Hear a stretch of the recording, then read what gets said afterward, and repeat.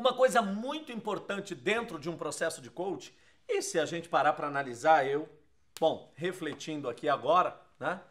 É, não podemos dizer que esse processo que eu vou citar aqui é um processo bom, é um processo essencial ou é um processo determinante apenas para um contexto de coaching. Não. Ele é sim muito fundamental para um processo de coaching, mas a gente pode até dizer que ele é um processo fundamental para absolutamente tudo que a gente pretende fazer na vida. E do que, que é que eu estou falando? Eu estou falando sobre um processo de comunicação.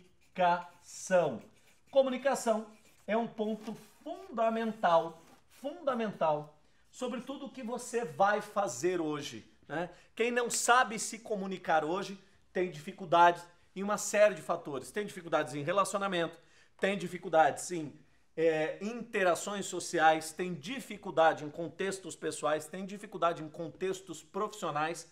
A comunicação é o que hoje de fato manda no mundo. Muita gente pergunta para mim o seguinte, Sullivan, é, o que você considera uma excelente competência a ser desenvolvida? Aí as pessoas normalmente perguntam assim, ah, para um líder, ah, para um gestor, ah, para um coach, ah, para um professor, para um palestrante, para um treinador para mim pouco importa qual é o rótulo que você vai associar. Isso aqui para mim hoje é a bola da vez.